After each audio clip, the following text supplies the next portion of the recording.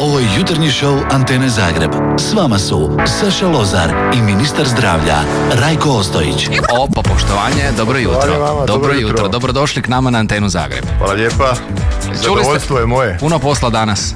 Danas Ima. uvijek puno Uvijek, posla. koji uvijek, puno koji posla. uvijek. Danas je nažalost prvi dan štrajka, vjerojatno ćemo o tome pričati. Pa mislio sam čak malo popričati o, ne znam, o kakvu kavu volite i tak za, za dobro jutro. Zeleni čaj. Od 7 sati ujutro 70% zdravstvenih radnika nakon e, propalih pregovora vlade i sindikata su u štrajku, možemo to tako reći. Dva kruga mirenja, još jedan sastanak nakon 2003. 2005. Evo nas opet danas.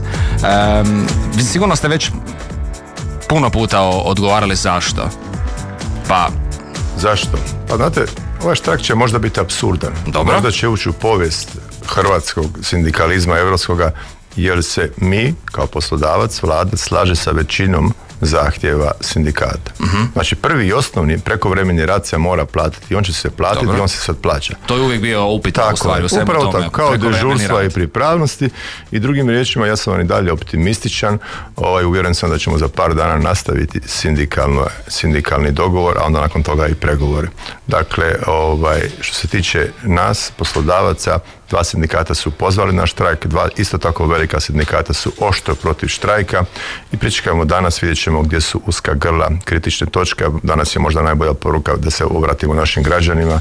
Dakle, za početak, svi liječnici obiteljske medicine normalno rade, ova reforma koju provodimo je reforma obiteljske medicine, oni nam daju potpunu potporu, zavodi za hitnu medicinu, dakle diljem Hrvatske potpuno normalno rade. I svi oni koji imate nažalost, ne daj Bože, tešku bolest, trebate ići na pregled u bolnicu, slobodno otiđite, bit ćete pregledani. šta točno doktori traže i recimo hipotetski da oni to i dobiju, da li će to poboljšati uslugu, da li će onda oni biti ljubazniji, da li će sestre biti e, ljubaznije, da li će bolnice imati napokon čiste WC, da li će to smanjiti liste čekanja. onak. Upravo me ovog straha, ovo je pitanje vrlo zanimljivo. Strah me da ovaj štrajk ne proizvede percepciju da su nažalost doktori gramzivi na novac i to naprosto, naprosto nije točno. Ja sam dakle definitivno mislim da ono što dio sindikata želi, a to je da se plaćaju prekovremeni sati, oni se moraju platiti, ja to cijelo vrijeme govorim, ali do toga moramo doći pregovorima, a ne sistemom ucijene. Naravno, posljedično tome očekujem i bolju kvalitetu i dostupnost zdravstvenih usluga, što je rekla vaša gospođa, to je to je ključ. Mi smo, nismo ovdje radi plaća, radi bolnica, mi smo ovdje Mislim, radi naših- problem. Mi smo ovdje radi naših građana. Kažu sestre da će bez obzira na sve svakako danas e, pružiti pomoć. Naravno. Ma gledajte, Mislim, zakletva je tu na kraju krajeva. zakletva, dakle, naprosto je tu, mi smo vam izabrali naš, naše zanimanje, jer to se, to, dakle, jer volimo ljude, jer smo humani, jer smo altruisti, medicinske sestre i liječnike, zato ja danas ne očekujem, osim u nekim sredinama, dakle, da će možda biti poteškoća, a uvjeren sam u velikoj većini da će biti u redu. Primjerice, evo, već jučer smo dobili od dvije velike zdravstvene ustanove da neće štrajkati talasoterapija, dakle, to je velika bolnica u Opatiji u Rijeci, Mhm, da, da. koja pruža usluge za srčane bolesnike. Niti jedna sestra, niti jedan liječnik neće štrajkati. Ili naša poznata srčana, naravno, Zagrebačka Sigeti, Draškovićeva, ne štrajka. Drugim riječima, drugim riječima, ovaj, pričekamo 24 sata, sve ostalo je samo hipotetski, ne, nemamo, nemamo kuglu, ovaj, Saša, ni vi, ni ja, da znam koliko će ljudi Jasno. štrajkati. Pričekamo Jasno. 24 sata, izdaćemo s točnim podacima, ali to je naša obaveza. Mi moramo znati Naravno. gdje je uska grlo, gdje će se povećati liste čekanja da bi angažirali privatne klinike. Šta će biti sa pacijentima koji su prije devet ili godinu dana dobili termin za pregled magnetska rezonancom. A oni sad znači čekaju devet mjeseci na taj pregled i sad će im to biti otkazano. Mislim, ja sam na primjer dobila pregled 12.3.2014. I šta ako tad opet bude štrajk? Mislim, di će se ubaciti ovi pacijenti koji sad neće stići? Šta je sa djecom? Djeca koja imaju zakazane preglede, pa nisu djeca, mislim, kriva. Hvala Tena. Nisu djeca kriva, nisu pacijenti krivi, danas se moramo ovaj, maksimalno fokusirati na naše građane i svi koji imaju magnetsku rezonancu koju su danas to govorili, slobodno otičite u Zagrebačke bolnice. Uvjeren sam da će napraviti. Devetogodišnji dječak iz Vinkovaca i mu je otkazana operacija jer su kao navodno starci došli e, jučer pa su ga otkantali grubo rečeno jer se kao pripremaju za štrajk. Da, to su, to, to su nevjerojatne stvari. Pročitah, pročitah Saša i ja to jučer i poslali smo inspekciju. Dobro. Dakle, dečko je trebao, dječak, dječak je trebao biti primljen u ponedjeljak, operiran neka utorak.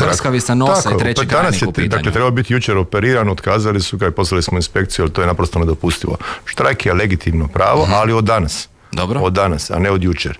A on je trebao biti jučer operiran, kao što ste vrlo točno da. rekli.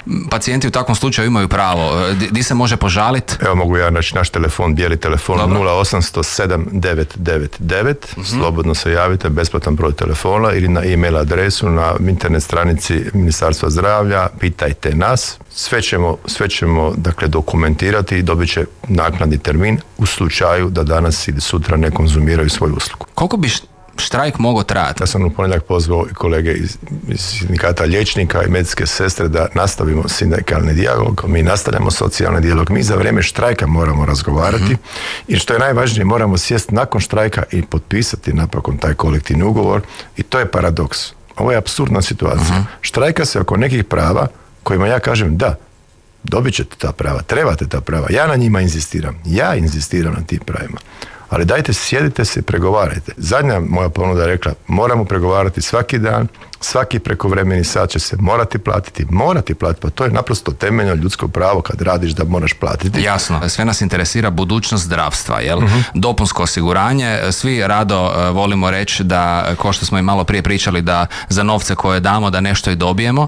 Pričalo se o nekakvoj jedinstvenoj cijeni od Je. 70 kuna.